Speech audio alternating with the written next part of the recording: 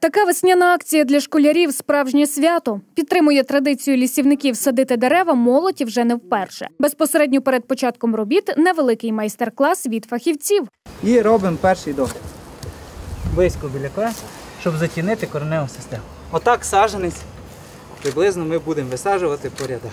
Акція Майбутнє лісу у твоїх руках стартувала 21 березня і триватиме до 15 квітня. За словами лісівників, цього року планують посадити майже 10 мільйонів саджанців головних лісоутворюючих порід. Той афоризм, е, який звучить у народі, що зрубав дерево, посади два.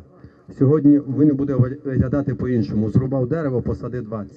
До лісопосадкових робіт в урочищі Божений на території Великобичківського держлісгоспу приступили групами. У кожної своя ділянка. Зараз умови для висадки оптимальні. Ґрунт у міру зволожений та збагачений необхідними поживними речовинами, каже головний лісівник області. Тому переконаний, усі дерева приживуться. Це бук звичайний, це, скажімо, основна лісоутворююча порода. Одна з основних лісоутворюючих пород, які є на Закарпатті. І це бук звичайний лісовий по латині фагус сульватика. Е, стандартний саджанець, дійсно стандартний, бо бачимо, що саджанець дуже якісний. Я більш ніж впевнений, що він прижиється. Скільки за своє життя посадив дерев, точну цифру не пригадає. ну, складно сказати. Ну, але думаю, не один десяток тисяч. А от для Христини це дерево лише третє. Втім, дівчина вже добре розуміє, чому потрібно берегти ліс. Ми будемо легко дихати і нам буде майдобре в першу чергу. Як правильно садити дерева, тут знають усі без винятку. Юні учасники акції кажуть, будуть ретельно охороняти ліс, котрий висадять власноруч. кладу у ямку, потім глину зверху і затопчую файно і прикриваю цим, би много було якби, вологість була у рослин.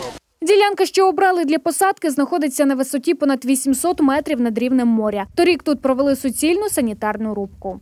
Вже роки за три ось на цій ділянці площею приблизно один гектар зазеленіє молодий ліс. Зараз тут на місці старих зрізаних дерев висаджують зовсім молоді саджанці. Ще років за 10-15 6 тисяч саджанців, що нині тут оселяться, підростуть настільки, що вже будуть давати тінь та рятувати туристів від спеки. Засаджують цю ділянку відповідно до проекту, так само і визначають породи дерев.